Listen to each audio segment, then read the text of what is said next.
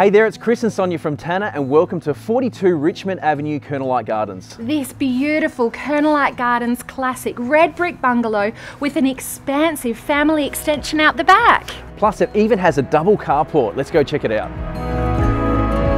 all my imperfection, I I learned